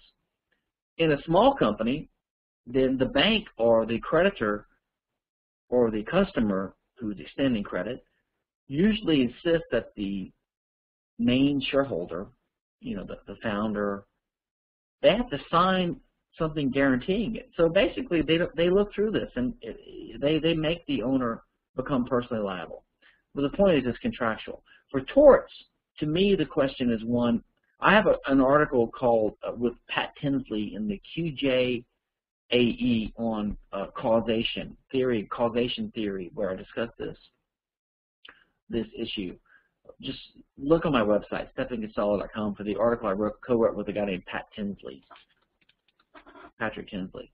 Uh, and by the way, Tinsley is the same name as Kinsella in Gaelic. They both come from some strange Gaelic name.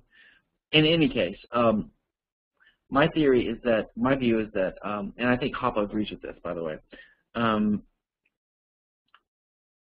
the, the person who causes damage that is not consented to, um, if it's a crime, it's a crime. If it's a tort, that's sort of less intentional, but still negligent um, that person is the one that's primarily responsible.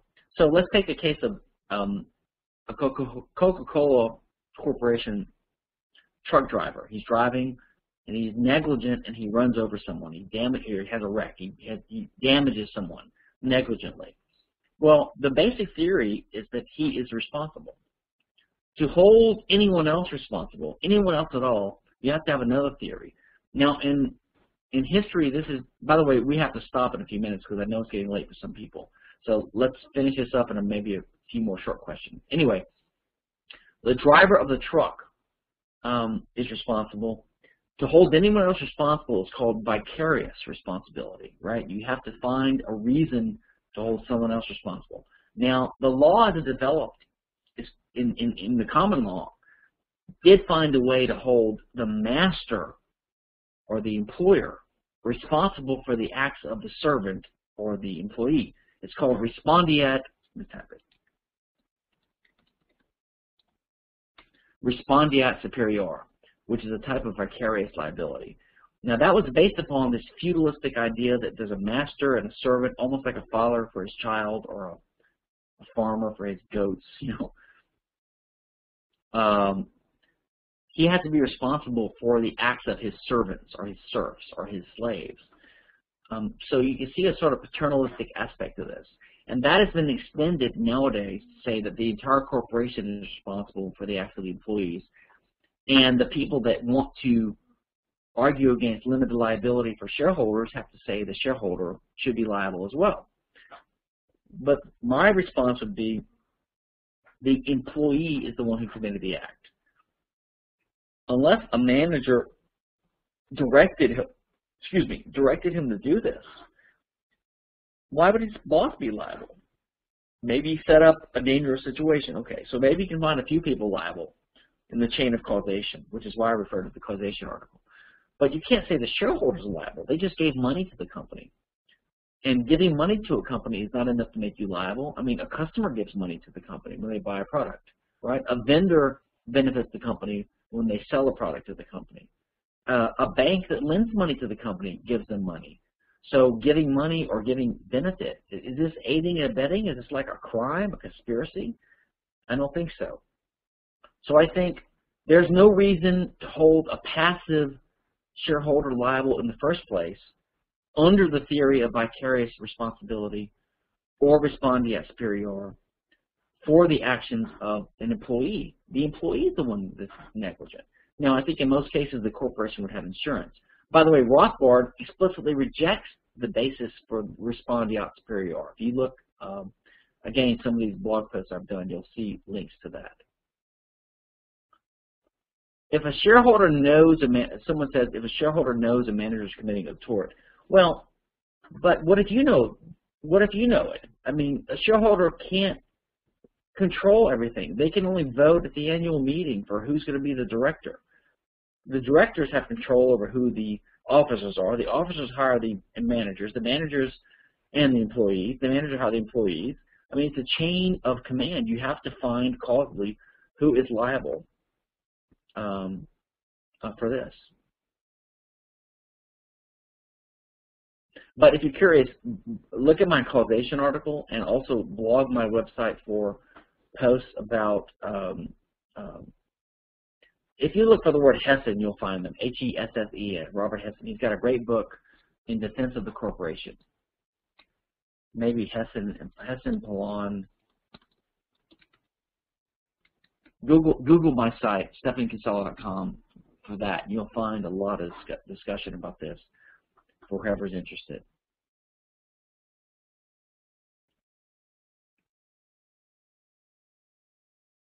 We still have 17 people left. That's pretty impressive. Uh, I know it's getting late for some. I'll be happy to talk further if anyone wants to discuss anything. If I missed any of the questions above that you want to discuss, let me know.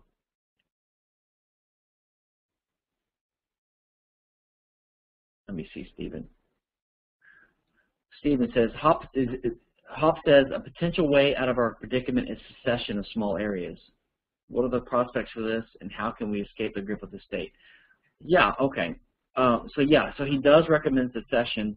So this is why, like he's been criticized a lot for his views on immigration, et cetera, but his real view, which I quote later in these slides, is that we should we should de uh, decentralize the power down to the smallest level possible. Hoppe's view, and you'll see it was mirrored in the, the talk we had about Marxism and class consciousness. Hoppe's view is that the central mistake of society is the, the error held by most people that the state is necessary. Um, so ultimately the only answer is education. Somehow informing people, enough people, a critical mass of people, that the state uh, is a mistake and the state is not necessary. How do you do this? It comes from economic education. It comes from the, the, the leadership by elites. So that's why he's devoted his life and why most of us libertarians try to educate ourselves and others about the possibility of a, of a natural private property society, a free market order, and why the state is destructive to that and not necessary.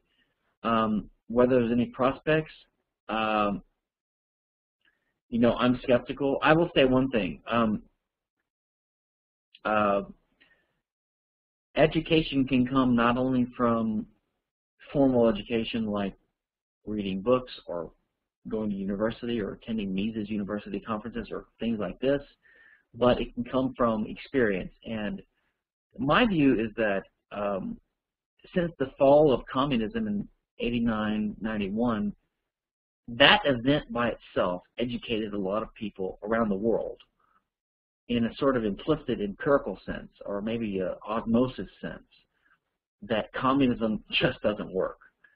So they have a sense that we need free markets. So my view, my hope is that as the richer, uh, sorry, as the more liberal nations become more technologically um, advanced and more rich, that that will continue to give a lesson to people. We might reach a tipping point someday where the the difference between controlled economies and relatively free ones is so great that people will get the message more and more, and that you have a runaway effect at some point. That's my hope, and I assume it's Hoppe's hope too, because he fights for a reason. But basically, it's about education. How we educate humanity, enough people to be aware of the benefits of private property rights, uh, is a technical question, and it's a difficult one, evidently, but I think there's hope, but it may take a while.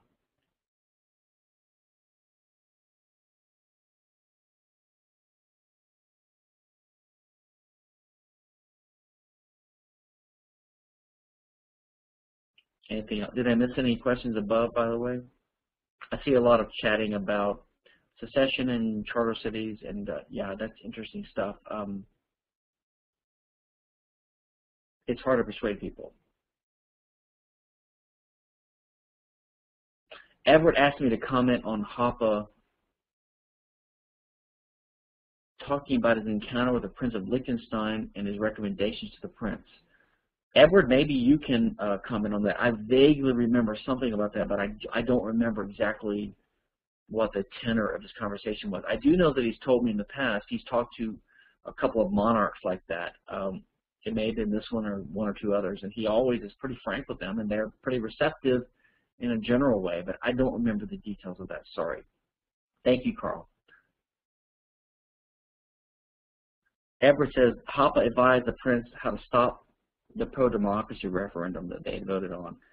And the prince had threatened to leave Liechtenstein if any of his power was taken, and then the referendum failed. Interesting. I actually don't know much about that. That doesn't ring a bell. Jock said, the entire economy of African countries, some African countries, smaller than that of a small English town. There's opportunities for something like charter cities. Yeah, I agree. I actually think, I mean, I think these floating island things that Patri Friedman and the other guys come up with, I mean, we've had these kind of um, ideas for decades now. They never come to anything. I don't blame them for trying. I sometimes think the best hope is some kind of recognized regime that is desperate and uses its sovereign status in the world community to just try some experiment. Yeah, uh, but but we'll have to see. I mean, I don't know. Um, Liberia didn't work out. Um, but I'm hopeful. I mean, I think that the future lies with technology and knowledge and and freedom. It's, but it's not going to be an easy battle.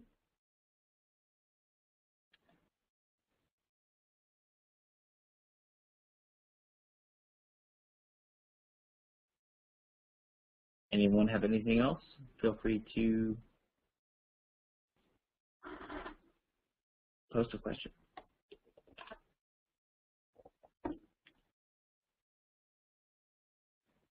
Antonio wants to know if I think the U.S. is at risk of splitting. Um, I'm not the best person to ask. I don't know. I don't know any more than any of you do. Um, I tend to think that the answer is no. I think that we're still the wealthiest country, and the state can use that wealth to maintain control uh, for a long, long time to come. Um, I do think that if we had a severe economic problem, then Texas itself, where I live, could could use the idea that we used to be a country, the Republic of Texas, you know, with a Lone Star State. They could overcome this patriotism that most people have and secede, which I would favor as a general matter. But no, I don't, I don't think I don't think we're going to have Mad Max world or I think what we're going to have is continued economic improvement, to be honest, because of technology and the market that's not been killed. That's my guess. Now, most Austrians would agree, disagree with me maybe. I think the U.S. and the West is going to keep improving because we have enough resources and um, technological improvements to keep overcoming the state's increasing parasitic actions. That's my guess. Um, could go up and down for a while, but I think we're going to keep going up. And my hope is that eventually the technological free market sector can just outrun the state. Maybe 50 years from now, maybe 100 years, I don't know. That's my hope.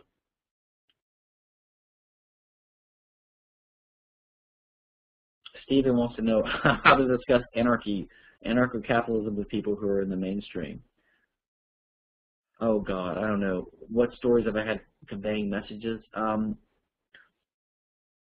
converting people. I mean, there's a essay by Nock, I think. I think I've got a blog post on it. It's called, or maybe it's Leonard Read, on the power of attraction. And it's like, you know, really the best way to persuade people is to have them come to you instead of being an annoying burr in their saddle. Being a good person, being successful, being intelligent, always having a measured response, and people gradually come to you. When they come to you, it's called the power of attraction.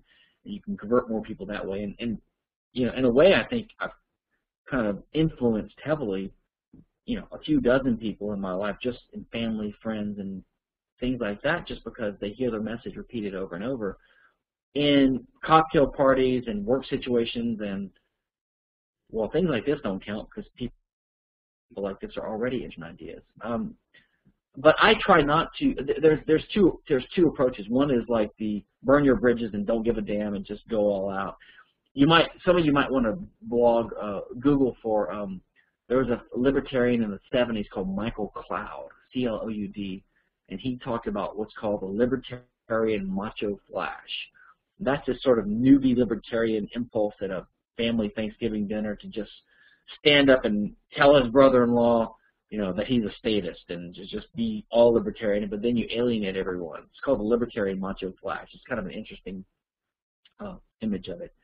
Um, I mean, over the years, I, I tend to try not to word it that way. You have to measure how receptive people are to radical ideas, and if they talk about something, like, for example, I talk to a lot of conservatives in Texas and Louisiana, and they just bitch about Obama left and right. And I, I'll just calmly say, well, you know, you just complained about X, Y, and Z with Obama, but you know George Bush did X, Y, and Z in bigger or littler ways himself. And they will usually say, yeah, yeah, you're right. I mean, they'll what can they say? That That's not the fact. Um, so it sort of blunts their attempt to distinguish between how bad it is under Democrats and how bad the Republicans are. So you sort of get them to see that the left and the right are really the same. So if you take what they're criticizing, and I've done this with the left as well, when the left criticizes the right, I'll point out that, well, Obama is locking people up in Guantanamo still too. And you finally get them to see that the left and the right are not really that different. Um, and I've done the, the opposite with conservatives. I'll say, well, you know, the George W. Bush did what Obama's doing too, or vice versa. And that, that, that sometimes works. I, I find they have little response to that. I think it makes them think. And then you can emphasize your message that the left and the right are the same.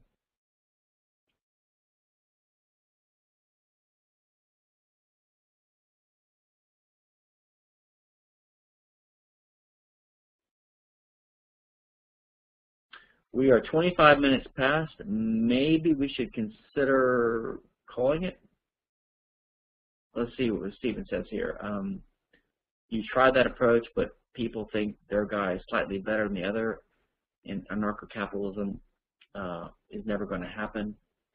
Well, yeah, but they're not really. You're not trying to get them to vote anarcho-capitalists. I think you're trying to get them to see what policies we should favor, right? That's the main issue. And I think you can, of course, there's a Nolan chart kind of idea too. You just say, listen, if you're in favor of this kind of freedom, you should be, be in favor of this kind of freedom. I mean, you can always point out, look, if you believe in freedom of the press and freedom of speech, you can't. You realize you can't have that if the government owns all the presses, right? And I think they'll see that nowadays. So they understand the importance of private property, right? And if you they believe in due process, and you say, well, they take people's property without due process, etc. It's an uphill battle. I agree.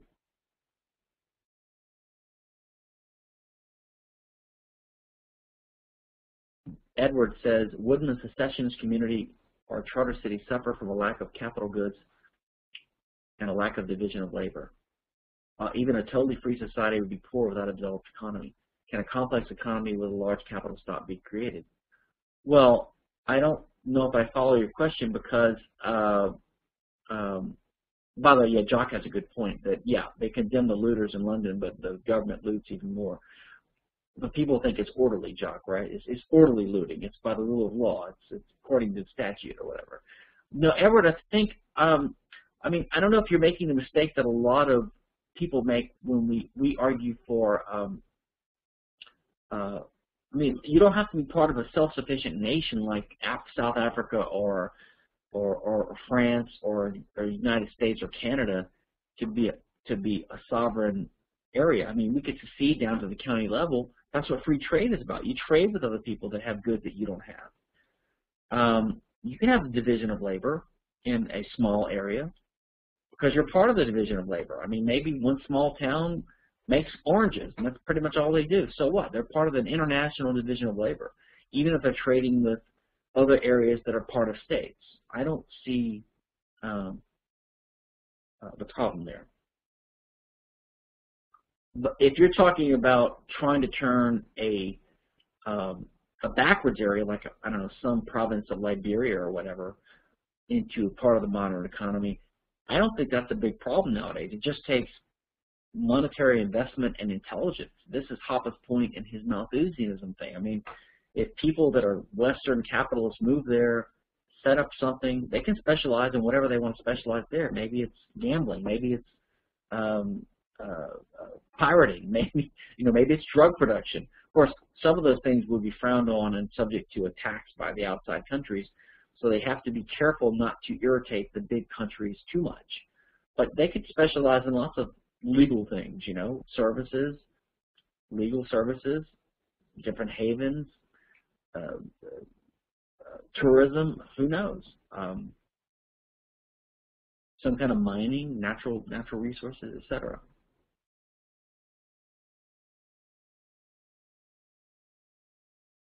Guys, I think we're 30 minutes past, so I think we should call it to an end. I've enjoyed very much the class. You've been a great class, and um, I welcome any requests, comments, further questions, discussions, feedback. So feel free to email me or post things uh, in the class. Thank you, Danny, very much. Thanks, Kevin.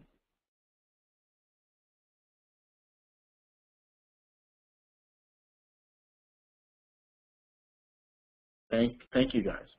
I enjoyed it too very much.